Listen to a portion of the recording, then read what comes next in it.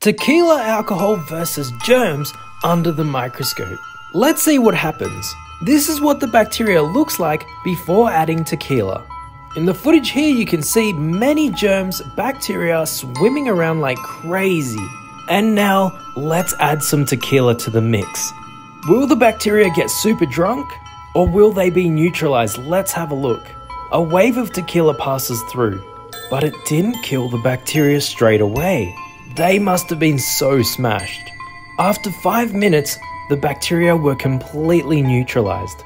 Crazy. What should I try next under the microscope?